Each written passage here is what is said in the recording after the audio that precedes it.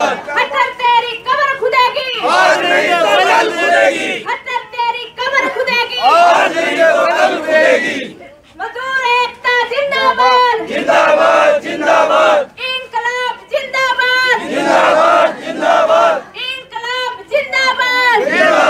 जिंदाबाद नहीं डरेंगे घुरकी से खींच लेंगे कुर्सी से नहीं डरेंगे घुरकी से खींच लेंगे कुर्सी से खट्टर तेरी मन- खट्टर तेरी कब्र खुदेगी आज नहीं तो कल खुदेगी मत- मोदी खट्टर मुर्दाबाद मुर्दाबाद मुर्दाबाद मोदी खट्टर मुर्दाबाद मुर्दाबाद मुर्दाबाद खट्टर नहीं खटारा है झूठ का पिटारा है खट्टर नहीं खटारा है झूठ का पिटारा है खट्टर नहीं खटारा है झूठ का पिटारा है ये तमाम मनरेगा मजदूर हैं जो आज सड़कों पर उतरे हैं और ये अपनी तरफ़ से ऐसा आह्वान कर रहे हैं कि हम सीएम आवास का जाकर गहराव करेंगे। लेकिन प्रशासन इनसे बातचीत करने का प्रयास करेगा, इसलिए भारी संख्या में यहाँ पर पुलिस बल भी तैनात कर दिया गया है और पूरे हरियाणा से यहाँ पर मनरेगा मजदूर पहुँचे हैं।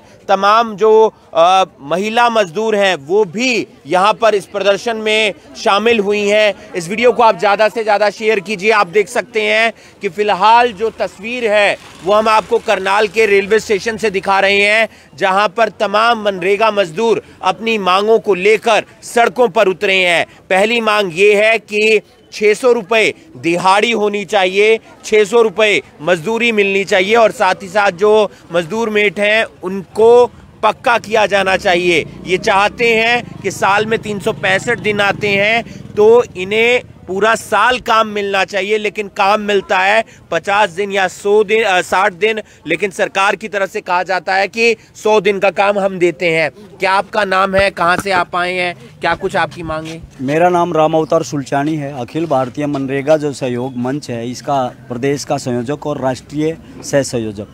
साथ ही हमारे जितने मनरेगा के आए हैं, हम आपको बताना चाहते हैं कि पूरे हरियाणा में सितंबर तक केवल 20 दिन काम मिला है। के केवल 20 दिन काम मिला हमारी। पूरे साल में? पूरा अभी सितंबर तक। आप देखिए आठ महीने नौ नौ महीने हो चुके हैं केवल 20 दिन। पूरे हरियाणा में दो लाख बयासी हज़ार दो सौ अड़सठ मनरेगा में काम करते हैं। ये इतने लोगों का प्रतिनिधित्व तो कर रहे हैं ये लोग। हम ये कहना चाहते हैं सरकार से एक दिन एक अगस्त को हमने सभी डी को ज्ञापन दिए। हमने कहा मुख्यमंत्री साहब से हमें मिलवाइए। हमने रणबीर गंगवा को दिया, हमने कमल गुप्ता को दिया। कमल गुप्ता तो भगड़ भड़क गए जब हमने रिसीविंग मांगी, कहने लगा, कानून में उलझा हुआ है हमने तो। हम कह रहे, कानून में नहीं उलझा रहे। मजदूर रोजी रोटी का लिए काम कर रहा है। सबसे पहली मांग पूरा साल काम लेंगे छः सौ रुपये दिहाड़ी लेंगे। दूसरी मांग हमारी, जितना भी मनरेगा में मेट काम करता है, उसको पक्का किया जाए। क्योंकि जब तक मनरेगा विभाग पक्का नहीं होगा, तब तक काम ठीक से चल नहीं सकेगा। इसी प्रकार हम कह रहे हैं, गरीब आदमी मनरेगा जो कसी लेके तासला लेके जाता उससे गरीब नहीं है। आयुष्मान भारत में जोड़ो, पाँच लाख रुपए का इलाज हम उनसे लेके मानेंगे। इसी प्रकार हम कह रहे हैं बीपीएल का सवाल है कैटल सेड का सवाल है, और सबसे बड़ी दिक्कत हमें यह है कि मनरेगा पे, साइट पे काम करते हुए यदि मौत हो जाती है पच्चीस हज़ार रुपये देते हैं। क्या ये मजदूर बकरी का बच्चा समझ रखा है इस सरकार ने? जब यही मजदूर खेती पे काम करने जाता है, पाँच लाख मिलते हैं। यही मजदूर भवन निर्माण पे काम करने जाता है, पाँच लाख। हम ये कह रहे हैं, पच्चीस लाख रुपए लेंगे, एक सरकारी नौकरी लेंगे। और पूरा काम और पूरे काम के पूरे दाम। अभी ये ऐप लेके आए हैं। पूरे दिन काम करते हैं, ऐप नहीं चलेगा। यानी कि वाईफाई का कोई नहीं है। छोटे छोटे फ़ोन है मेट्रो के पास। काम भी कर दिया और दिहाड़ी भी नहीं मिलेगी। कहाँ कहाँ से आप आए हैं? क्या आपकी मांगे हैं? हिसार ज़िले से आए हैं सर। आसी तहसील के प्रधान सुमन बाटोल जाटान से सर।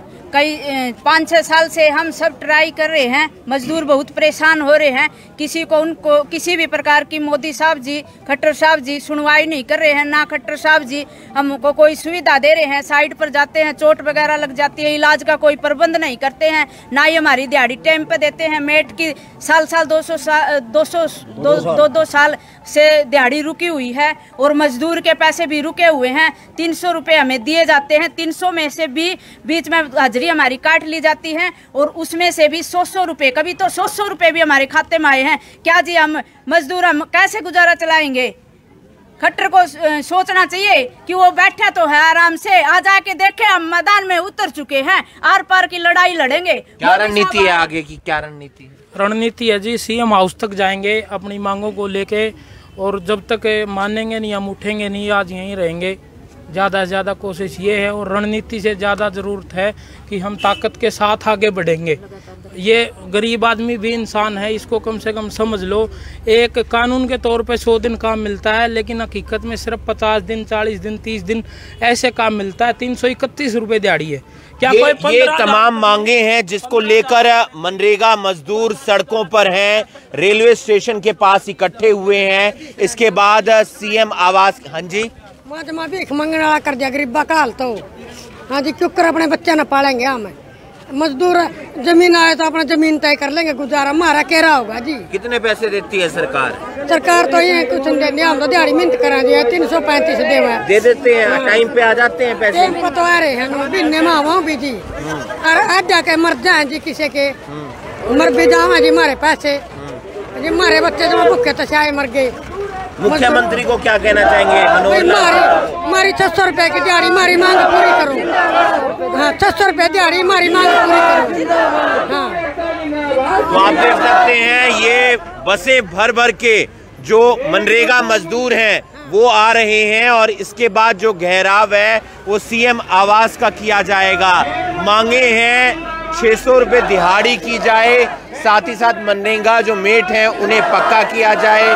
तीन सौ पैंसठ के तीन सौ पैंसठ दिन इन्हें काम मिले, लेकिन काम मिल नहीं रहा है, जिसके चलते ये प्रदर्शन, ये आक्रोश, ये गुस्सा मनरेगा मजदूरों का आज सड़कों पर देखने को मिल रहा है। हालाँकि पुलिस बल यहाँ पर तैनात किया गया है। अभी प्रदर्शन जो है वो रेलवे स्टेशन पर चल रहा है, रणनीति बनाई जा रही है, लोगों को जोड़ा जा रहा है और इसके बाद सीएम आवास का घेराव किया जाएगा। इस वीडियो को आप ज़्यादा से ज़्यादा शेयर कीजिए।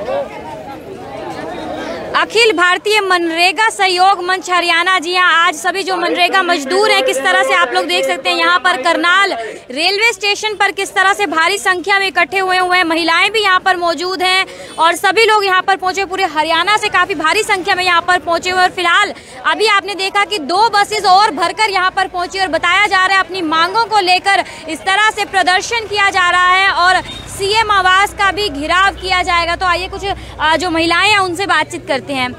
मैम क्या कुछ कहेंगे? आज आप यहाँ पर पहुँचे। क्या कुछ आपकी मांगे हैं? क्या मांगे हमारी मांगे हैं हमारी मांगे ये है हमारी दिहाड़ी छह सौ रुपये की जाए और हम जो भी काम करते हैं वो हमें तीन सौ पैंसठ दिन का मिलना चाहिए।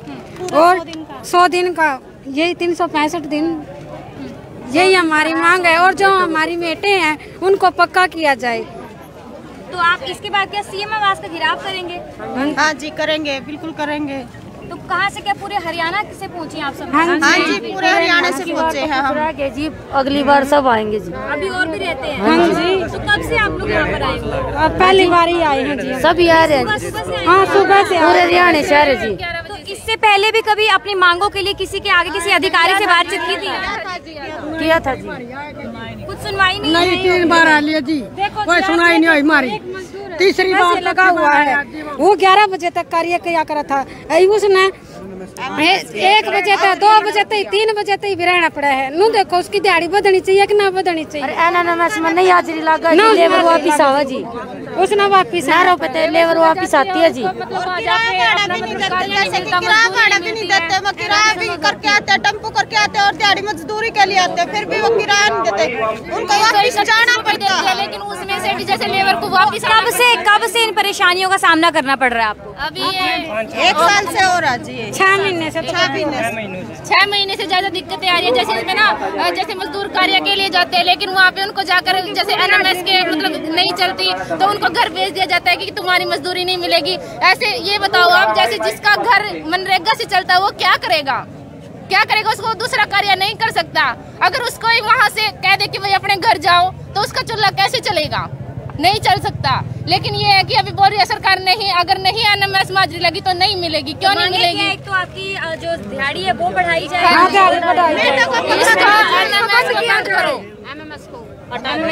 और हमारी क्या उसमें क्या होता है?